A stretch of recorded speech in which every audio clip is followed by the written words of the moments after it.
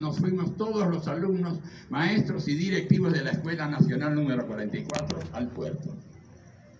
Era un sábado a puro sol y la primavera se lucía en todo su esplendor. La consigna fue compartir un día con los niños de la costa y llevamos fuegos y llevamos premios previamente solicitados al comercio de nuestra ciudad que voluntariamente donó para el evento.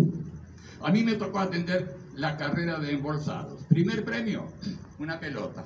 Segundo, un barrilete. Y tercero, un trompo. Entre los 15 o 20 participantes venía el Tincho, nueve años, siete hermanitos, padre desconocido. Y la mamá hacía tortas fritas, chipá, patitas de chancho, cara sucia o torta negra, como le dicen acá, para alimentar a todos sus cachorros. Ni bien largaron, che, se nos cayó el pincho. Hizo un poco de pucheros, llorició en el suelo, se levantó y volvió a partir. Tres veces se cayó y las tres se levantó. Entre lágrimas y risas, hasta que llegó tercero. Y en lugar de reír y festejarse, nos largó a llorar a moco No entendíamos qué le estaba pasando. Me acerqué, lo abracé y lo calmé. Luego le pregunté por qué lloraba y me confesó lo siguiente.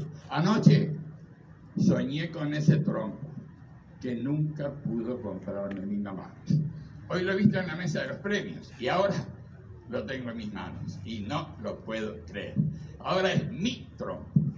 Ya no tendré que pedirlo prestado para poder disfrutarlo. Gracias, muchas gracias. No, mi querido Tincho, gracias a vos que te caíste tantas veces y volviste a levantar. Vos te lo has ganado en buena ley y eres un ejemplo, un buen ejemplo a imitar.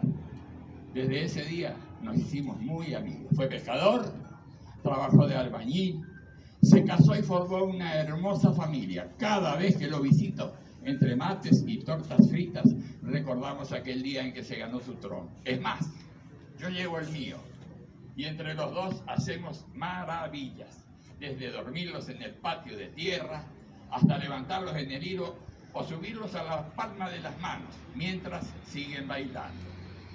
Y doy gracias a Dios que me dio la oportunidad de conocer a esa hermosa personita llamada Tincho en aquel rinconcito de patria, el puerto de Reconquista, mi querido